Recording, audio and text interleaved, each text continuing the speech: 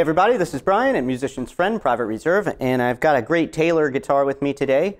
This is the Taylor Limited Edition 514 CE Grand Auditorium Acoustic Electric.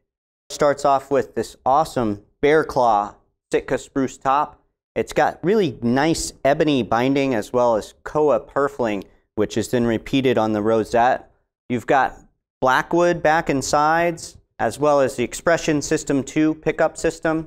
Channel bound neck with koa and boxwood inlay on the fretboard and the headstock. It's an ebony fretboard.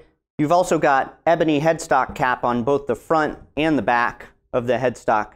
So uh, just a really nice touch and real woody. I like the use of wood uh, for the inlays as well as the purfling and binding on this guitar. It's very woody. Let's check it out. Here we go.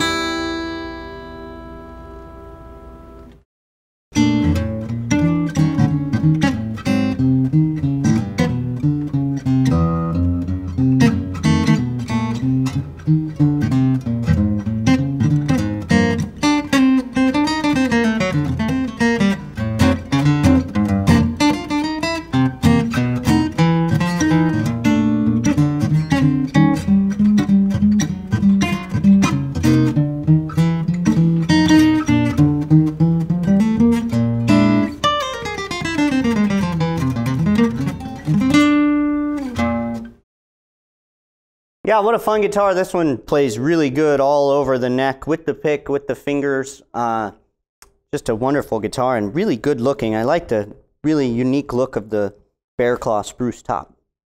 Have a great day.